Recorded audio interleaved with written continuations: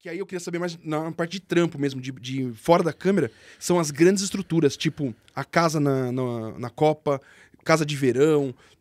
Quando tem esse tipo de projeto, hoje você tá na, na frente da câmera, mas você dá um, um, um passo fora disso para cuidar dessa, dessa estrutura, dessa parte? Ou, tá, ou já tem uma estrutura que você só precisa estar lá, tal, tranquilo? Como que funciona essas grandes produções?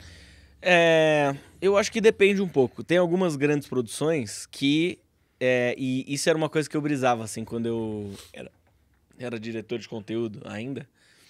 Era uma coisa que eu brisava, assim, sei lá. É, eu consegui, até por, né, conseguir o cargo de diretor, eu consegui trazer uma galera para trabalhar comigo que eu conhecia, que eu confiava tal, e que eu tinha estudado junto, que eu já tinha trabalhado junto em outros lugares. E que eram meus amigos. Então, juntava aqui, pô, uma reunião três da tarde. Eu lembro que foi uma vez que eu pensei isso. A vez que eu pensei isso foi que a gente tava numa reunião assim, terça-feira, três da tarde. A gente tinha que fazer um.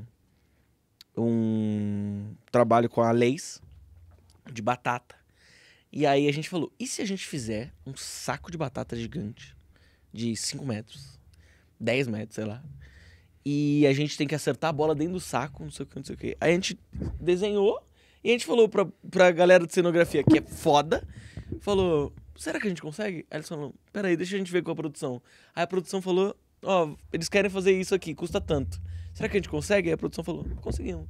Deixa só ver com a Bom diretoria. Demais. E aí o bagulho foi, foi girando, girando. Quando viu, chegamos, tinha um saco de 10 metros. A gente falou: caralho, a gente pensa os negócios. E acontece. E acontece. E, e assim é o nosso trabalho.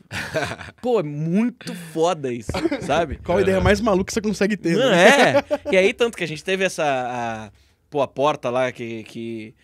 Teve um que a gente fez quatro portas e uma era fechada e outra era de isopor e caía numa piscina. É, aí na outra a gente foi fazer o. Aquele. O Round Six, que era um. De pular no Sim, negócio de vidro, só que era de, de isopor. E aí não deu certo.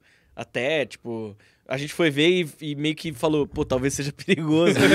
e aí a gente muda no meio do vídeo. Então, assim, são erros e acertos que a gente vai vendo é, durante o processo. E, e, e, mano, é, eu acho que, com todo respeito à minha faculdade, mas foi a minha verdadeira faculdade, ah, assim, sim, o, sim. O, o, trampo de, de, de, de, E eu também fazer tudo no Desimpedidos, né?